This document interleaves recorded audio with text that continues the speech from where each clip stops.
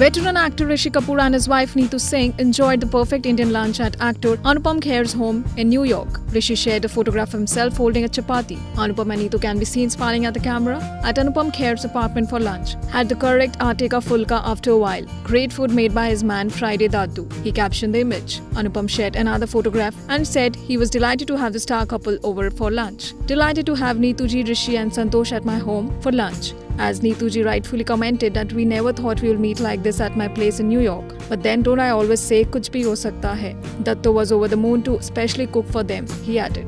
Rishi has been undergoing medical treatment in New York for the past several months.